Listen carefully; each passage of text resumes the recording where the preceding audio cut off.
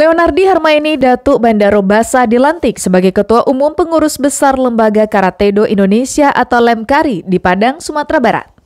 Pelantikan dan sekaligus pengukuhan pengurus dilakukan oleh Ketua Dewan Penasehat Yudi Krisnandi yang dilakukan secara virtual dan dihadiri pengurus Lemkari dari seluruh Indonesia. Leonardi Harmaini terpilih sebagai Ketua Umum PB Lemkari periode 2020-2024 secara aklamasi dalam Kongres Organisasi Olahraga Bela Diri itu pada 20 Agustus lalu, menggantikan Yudi Krisnandi yang selanjutnya didaulat sebagai Ketua Dewan Penasehat.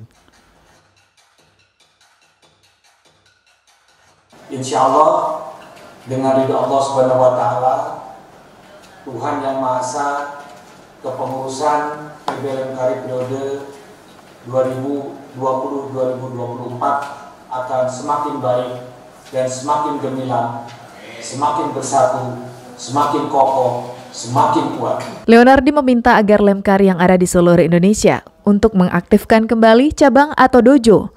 Dalam masa pandemi COVID-19, dojo diminta tetap latihan dengan melaksanakan protokol kesehatan agar menghasilkan atlet yang berprestasi. Dan memperbanyak dojo. Memperbanyak jodoh ini menjadi program utama prioritas maksudnya prioritas bagi pimpinan kali ke depan. Dan mempersiapkan pelatih pelatih guru-guru yang terhimpun di dewan guru. Dan eh, secara eh, keilmuannya secara teorinya. Selanjutnya, Majelis Sabuk Hitam harus memiliki dojo dengan minimal murid atau kohai sebanyak 20 orang. Senioritas yang mulai hilang bakal dihidupkan lagi karena di organisasi bela diri Lemkari ada proses belajar dan mengajar, ada yang melatih dan berlatih.